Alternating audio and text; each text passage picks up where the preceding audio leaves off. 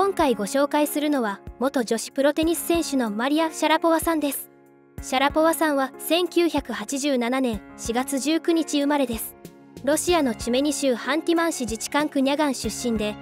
身長188センチ体重59キロスリーサイズはバスト86センチウエスト60センチヒップ89センチでバストは B カップです。シャラポワさんはその美しさからテニス界の妖精と呼ばれていたアスリートです。シャラポワさんは純粋な顔立ちの綺麗さだけではなく188センチと男性顔負けの高身長やブロンドヘアなどで日本だけではなく世界の男性を虜にしファッションモデルにも引けを取らないスレンダーなスタイルを作り上げ女性からも支持を得ていました。ユニフォーム姿のショットでは6つに割れた腹筋や引き締まった長い獅子など芸術作品のような美しいスタイルを存分に見せています。若い頃からそのスタイルを維持していて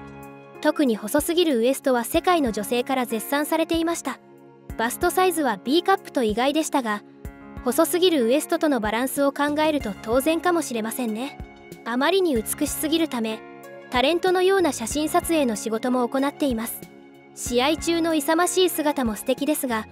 テニス街の仕事では優しい笑みが印象的でギャップが一段と魅力を引き出していますね。デビュー時は可愛らしいイメージのシャラポワさんでしたが20代では妖艶な大人の雰囲気が出てきていました。世界一稼ぐ女性アスリートにもかかわらずここまで美しいのはどれだけ恵まれているのかと思ってしまいますね。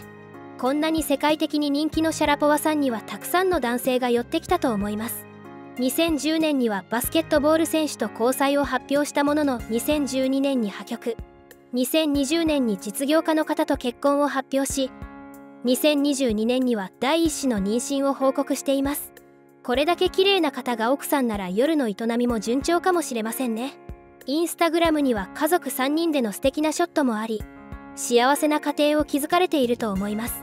シャラポワさんは14歳でデビューを果たし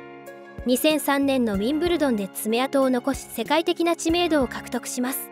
2004年には史上2番目の年少優勝記録でウィンブルドン優勝を遂げその後破竹の勢いで活躍し2005年にロシア女子テニス史上初の世界ランキング1位を獲得します。その後幾多の大会で優勝し2012年には史上10人目のキャリアグランドスラムを達成します。しかし2016年にドーピング問題が発覚し15ヶ月の資格停止となり世間を騒がせました。その後復帰しランキングを262位から29位まで戻すも故障に苦しみ2020年に引退を発表しました。自己責任とはいえ大変な経験をしてきたシャラポワさん。今後はご家族と幸せに暮らしてほしいですね。これからもマリア・シャラポワさんを応援していきましょう。ご視聴ありがとうございました。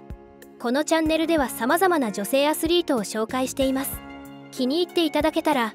高評価チャンネル登録をよろしくお願いします。